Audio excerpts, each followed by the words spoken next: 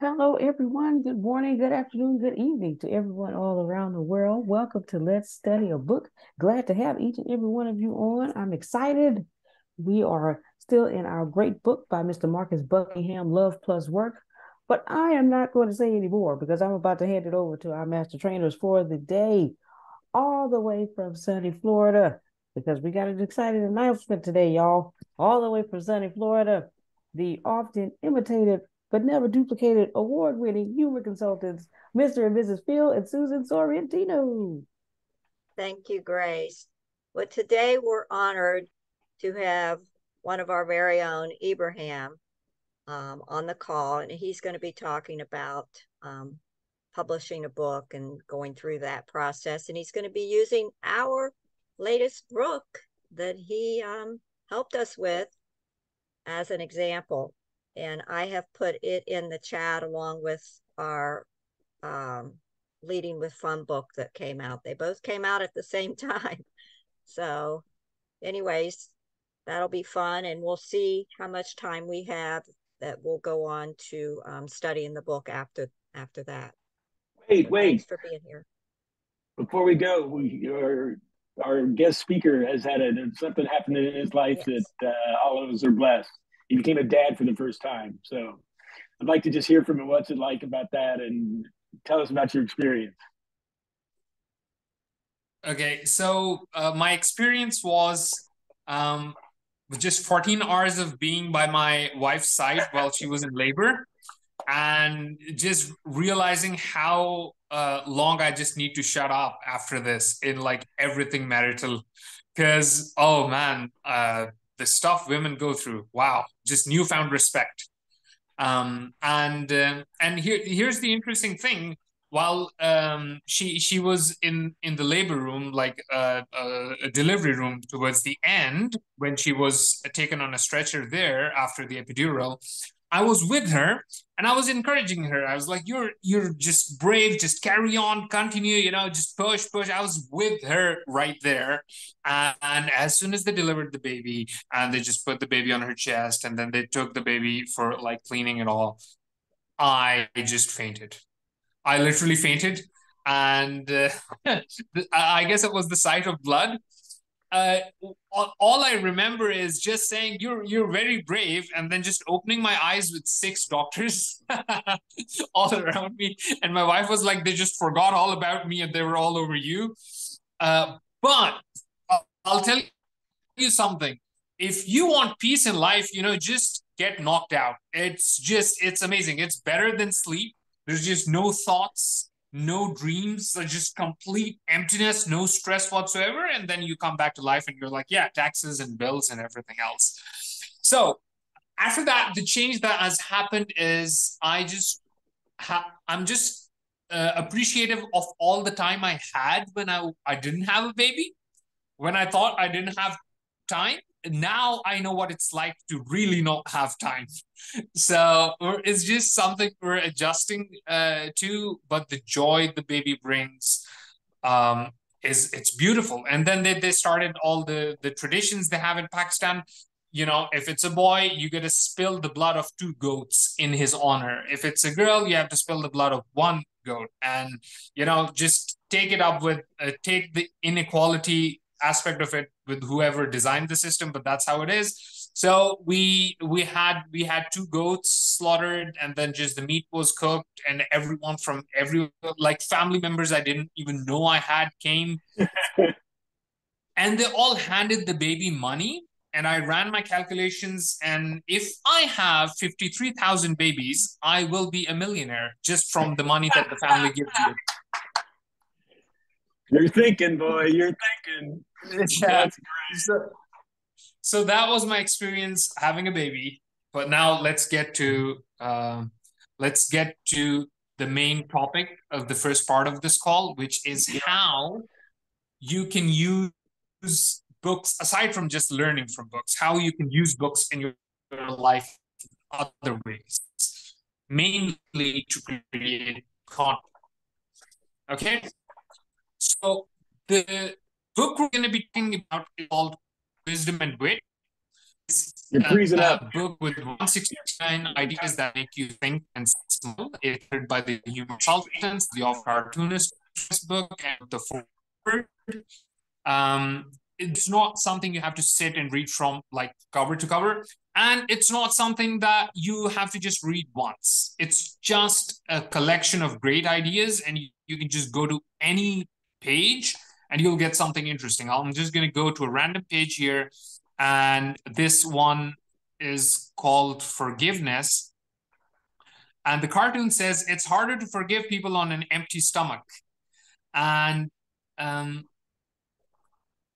and the thought is but be loving, forgiving, and grateful. And you'll find reasons to be loving, forgiving, and grateful. That's an amazing idea. It's you you have to realize that you start with the choice. You start by being loving and then you find reasons for it. You don't wait for reasons to be loving forgiving and grateful. And imagine if you wake up in the morning and you just flip to a random page and this is the inside. This is the first thing you encounter in your morning. It's not a notification it's not how many likes i've gotten because whatever you see first thing in the morning sets the tone for the rest of your day. That's the number one way to use a book. If you have a nonfiction, even a fiction book, and it's by your bedside, and instead of your phone, the first thing you see is that book, flip to a random page and get a thought from there, you're not on the treadmill that social media and smartphones put you on. Because if the first thing you see in the morning is your notifications. You're asking yourself the question, what do I react to? So throughout the day, you're just going to be in the reacting mode. Or if you see something that just pisses you off, maybe someone you don't like uh, has said something and it's in the news. Now you you start off pissed off, just as this thought said, right? Be loving, forgiving, and grateful. You'll find reasons to be loving, forgiving, and grateful. You wake up pissed off in the morning, you'll find reasons to be pissed off throughout the day. So, the first thing, the first way to use any book, and especially this book, the Quick Wisdom and Wit book, is to just have it by your bedside and make it something you look at before you look at your phone. You know, just get into that. It just every page in this book is just beautiful. I'll just flip to another random one. This one's titled Ideas, and here's what it says ideas are a dime a dozen. It is the people who put them into practice who are priceless. Too many people want to get paid for what they know as opposed to get paid for what they do. Just in the morning, just the first thought you have in the morning is that, hey, what action are you going to take? This is just a beautiful mindset to be in. So again, I'm li- this is literally not planned. I'm just pulling up random pages from this book. And okay, let me just go to the cartoon uh, for this one. Okay, let me go to the cartoon. And the cartoon has to be about ideas. Okay, so this one uh, is an adult saying to a kid, "Ideas are a dime a dozen," and and the child is saying, "Great, I need 120 million ideas to make a million dollars." So it's just a dime a dozen calculation. But you so you laugh in the morning, you get a good idea in the morning, and it sets you on the right path. That's the first way to use a book. Again, you don't have to buy this book. You just any nonfiction uh, book, any good book, you can just have it by your bedside, and you just flip to a random page in the morning, first thing in the morning before you check your phone. That's just that's that's the first way to use books. But I highly recommend getting uh, Quick Wisdom and uh, uh, for this. Next is to post pictures of pages or insights from the book. Okay. So the first one is just your very first thought in the morning. And the second one is you can take pictures of the book, just highlight something you like, take a picture of it, share it on Instagram. Just the content that you can create based on other people's work is amazing. And with this book, you have this added advantage of there being like 100 plus ca- cartoons. Like there's just a lot of cartoons. I've not counted. And you can just literally take a picture of the cartoon and you can post it on your Instagram. You're going to get your likes. But more importantly, you will be that person who doesn't use social media to show off. You'll be the person who doesn't use social media to inspire envy in others. You'll be someone who uses social media to educate and help others. Okay. You might not be a coach. You might not be an educator. You might not be an entertainer, but you're still a human being who has a platform, who has, like, even if you have six or five people who always see everything you post, and your responsibility is to give them something good, something that isn't all about you. We're all too self absorbed, and that's what social media and algor- algorithms do. They just push us to be self absorbed and self centered, and everyone's just posting whatever is making them look best. And you take the time, and you take a picture of any page in any book that you find interesting, and you're like, hey, I thought you should see this. You'll real you'll notice that more people start liking your content because um, there will be people who will say, "Hey, happy for you!" every time you post about your victories. But let's be honest, man. People want valuable stuff, and when you post a cartoon that educates people, or just a snap of a small idea that you want to put out into the world, you create truly valuable content. So uh, Quick Wisdom and Wit Books gives you dozens of opportunities of just flip to any single every page any page you can flip to. Take a picture post it on instagram. You can post it on your story. You can post it on whatsapp whatever app you use. I'm just gonna go to a random page in this book just pull out a cartoon. Okay. What is the secret to a happy marriage? There's a guy uh, talking to a couple and he's like what is the secret to a happy marriage? And then the, the guy from the couple says being happy and being married so that's that's a very good. Um, uh, that's just a very interesting insight that you can just put out into the world by just taking a picture, and all the likes and all the follows that you get from that go to you. They don't go to Phil and Susan. Okay, so that's just yet another reason to buy this book. But you can do this with any book you have. Just take a random picture of a page, and then you, you have a bunch of hashtags like Bookstagram, you know, just Google book hashtags and you will get a bunch of hashtags with which you can post stuff from different books to build a following. Okay, the algorithm will be on your side. Quickly, let's move to the third out of seven, three out of seven is social media captions.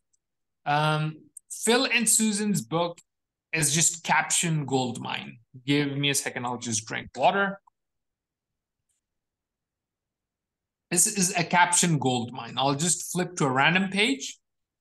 And this is something that you cannot do with every book because every book's every sentence isn't caption worthy. With this book, it's like this is a book that has been whittled down from 10, 20,000 words down to a few hundred words. Okay. So every single sentence here is gold. When you are out front, the only thing they can see is your behind. And I hope that is not your best sign. That's that's an insight from Phil and Susan, and that's just a great thing to put out on like a Facebook status, on a tweet, on Threads, or just as a picture post on Instagram. Um, I'll just go to yet another one. This one says, hold on. It used to be if it ain't broke, don't fix it. Today, if it is working, it is becoming obsolete. It's just so relevant in the age of AI, but it was relevant in the age of mass immigration and it was relevant in the age of uh, just industrialization. It's just an ever like eternally true thing that you can post online. So, yeah, you just sharing the ideas in this book online is the Uh, is the third way you can use this. And the fourth is thought of the day. Just like right now, what I've been doing is I've been mentioning different thoughts from this book, and then I've been talking about it. You could do the same thing and create reels out of it. You can create short form content out of it. The next decade is the decade of, of short form content. Anyone who gets good at making short form content is going to is going to um, build a following and eventually when ai takes all all the jobs there are all you have left will be the communities you built. Okay, the platform you built. The, There's a quote right there. What you just said is a quote. Okay. So, but but I didn't put it in a book.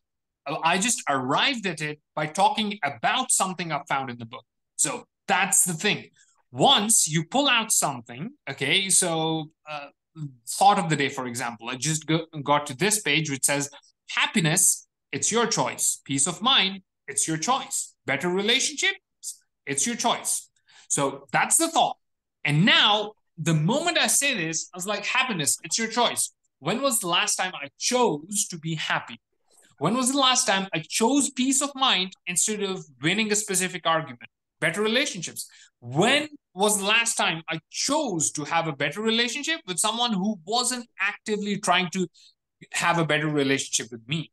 And just my choice made them try harder on their part. Like the, uh, your experiences come to mind. These are these are things that we've learned over being together and married and working together in business for over 40 years. So, you know, we didn't have them right off. We we learned and they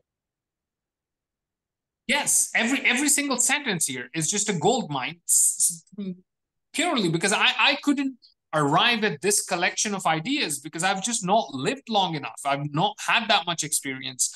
So having access to all of this, it's like truths that I didn't even have words for. But the moment I read this, it, I'm like, oh, this, this, this is true. It just feels true. And when I talk about it, when I say, when I read this out loud with the camera on me, the next thing I do is I talk about it. It's just so natural because these these words are just invitation for you to share your experience or your thoughts. And thought of the day could be content. You could just post short form content, or you could have that discussion with someone in your family or in your friend circle. It's just you can have productive discussions, which is the perfect segue to the fifth way. Okay, it's just a quick recap. First, morning thought you can just have a book by your bedside. You pull it up before you look at your phone, and instead of your notifications being the first thing that move you that day, you have something productive uh, be the first thought of your day. The second is you can take pictures of the pages in this book, share it on Instagram, social media, wherever. Um, third is you can literally type text from this book. You can type text from this book or any book that has like good text and you can make status uh, uh, facebook status uh, updates or you can have like tweets whatever text uh, social media there is uh, fourth is thought of the day you can just literally pull up a page read out loud what's written and then give your thoughts on it that can be your content or it could be just a discussion with a friend okay and that brings us to the fifth way, which is a discussion group. Okay, you can start a discussion group around books. This is exactly what this call is, and you can do it just because you do it here doesn't mean you cannot have your own discussion groups. You can start your discussion groups as a parent. I'd love to do it with uh, when when my uh, child child grows up enough we can start discussion groups about like family discussion groups uh, with books. This is just a very productive thing. And because community and a sense of belonging is actually a human need, uh, you need books like this to have discussions that are, are high quality and that nudge you towards higher order thinking. Again, any good book will do this. You can have discussion groups with any good book right now the book you guys are discussing isn't uh, Phil and Susan's book, but Phil and Susan's book is a very accessible book. It's a book that um, resonates with anyone. So you don't have to look at people, uh, start a group with people who um, are trying to be CEOs or a book with people who are trying to be rappers or a book uh, uh like some books shoehorn you into specific like if you get uh, one of uh, like my older books, uh, a charm like a narcissist. It's about charisma and social skills. You pull that book, you cannot have a discussion with someone who's not interested in building up their social skills. But you think of wisdom with you have a group in one is janitor, uh, one and one guy is dead. It's just relevant to everyone. So this is a really accessible book, which brings me to the sixth point, which is gift.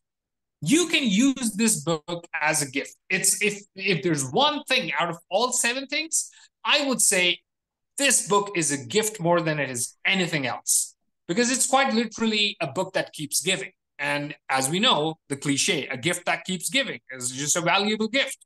You get this book on anyone's bedside, you're changing their lives.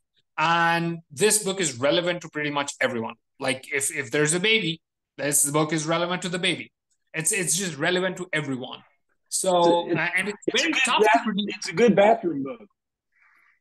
yeah, good bathroom book, good bedside book, and a good coffee table book. It's it's it's a great, and I would actually recommend having it as your bathroom book. Uh, bathroom books are not in vogue anymore, but still, instead of your smartphone, having this book is just much much better. You you'll come out of uh, your restroom much better rested with a book like this instead of just doom scrolling online and with your social media. So this book would make an excellent gift. Again, I'm going to sip water.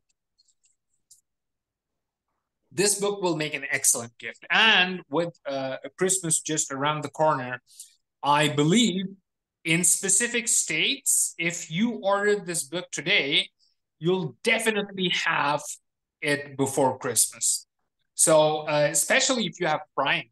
So I would highly recommend if you, if you if you need anything last minute as a gift, um, you can get the paperback for this. I, I think paperback is a good economical option if you're if you're giving it out. If you want it on your coffee table, get the hardcover. It's twenty two dollars and twenty two cents. Um, but I would say go with paperback. It's seven point seven seven dollars, and you know you earn eight points uh, on Prime with this. So it's definitely. Uh, and it, here's here's what it says for me. Um, for my company's address, um, my company's US address, it says I'm gonna get a, free Prime delivery by December 18 to 27. So there is a chance that I might miss Christmas. Okay, I'll be upfront. But if you get it today, the odds of you getting it by December 18 are higher than the odds of you getting it by December 27. So again, get as many copies of this as you can afford to. Um, again, it's it's just not just the fact that you're gonna give it as a gift to your friends and raise your profile because they're gonna love the kind of gift this is. Uh, because let's be honest, this will be the only book they're gonna finish reading because it's just a few hundred words. Um, but you'll also be giving a gift to Phil and Susan by uh, acknowledging the work they have done. This is a collection of their life's wisdom. Okay, it's just 169 ideas, and they've had hundreds of thousands of ideas throughout their life, and this just sums up what they want to leave as their legacy. Okay, this is 169 ideas that are close to these guys' hearts. So if they have given you any value that you believe is worth more than eight dollars, you got to order at least one paperback. okay, so, so just, this is just just so you guys know, this was sprung on me this morning that we were doing this. So this isn't something that we planned. I, I feel a little bit uh, commercializing, but uh, I really appreciate it, and you doing this and wanting to do this for us. You, you you bring so much value to us. And think about you as you think of your own quotes, write them down, capture them, because then you can create your own book like this. And now that we have the model to do that, every one of you can add this. So there's no excuse to not having a book. Yeah. And that's yeah, Phil always being a giver. Yeah, so so um, you guys can also create your own books with the codes that you have, and one way to arrive at those codes is by just taking a thought from this, and then you just turn your camera on and start talking. You will stumble into some gold. Okay, so uh, again, what was, if, the one, what if, was the one that you said? I don't want to miss it. You said something that it's obsolete, but what could be is community? Oh, um, I, I, I, it was along the lines of community and platform is all that will matter uh, once AI takes everyone's jobs. Um, but I will have to watch the recording to get to the exact uh, wording. well, that's why so, you need to capture it. And that's yeah, yeah, yeah, yeah. Yeah, you got to capture it. So, guys, once again, uh, just the quick wisdom and wit, the book's uh, link is in the chat and I'm just going to get to the, the last way you can use it. The final way you can use it, um, this book or any book, is to make your own content. Okay, you can make your own blog posts, you can make your own email newsletter, like thousand plus words, and you can make your own long form videos using books um, that you have not written, others' books. You can do that. And you, the way to do that is with Antonio's content commentary formula. I'll just recap that formula for you. Step one, you start with the author's thought. So I will just demonstrate this with scrolling to a random, okay, this one says friends. What's the quote around friends? Okay, okay, so that this is a bit uh, long. It says, first rate people like to be around all kinds of people because they believe the same spirit that is in them is the spirit that is in others. Second rate people like to be around uh, third rate people because they can say, I'm not as bad as they are. And they feel very uncomfortable around first rate people. Now, here's the thing we all know first rate, second rate, and third rate people. So now, when I say this, I can go into my experience. I can say, oh, I uh, my mentor, Mr. Uh, Rafi Mujahid, was a first-rate person. He hung out with everyone, and he had these unique thoughts. And he eventually started a school where 30 people would have 30 different, like 30 pupils would have 30 different exam um, sheets uh, based on their specific strengths. So in his exam rooms, there were no invigilators because if you can't answer the question on your exam sheet, no one else can help you because your exam sheet is built according to your strengths. So there was no reason to cheat. Um, and this reminds me of Rafi because he's the first rate person. And now I'm going to ask you, who's the first rate person that comes to your mind? And did you note them just avoiding people or did they like to hang out with everyone? So first, the author's thought then my own experience or just research. If I don't have experience, I could just go into first rate people like, you know, I just look up people and I could talk about Martin Luther King. He had so many people of his own race opposed him. Um, so many people of his own religion opposed him because they didn't like that he he could sit with everyone. And they didn't like that he could, move across the worldly and the religious circles so easily. But he was a first rate person. History has proven it. And what did he do? He was open to talking to any, eh, just anyone.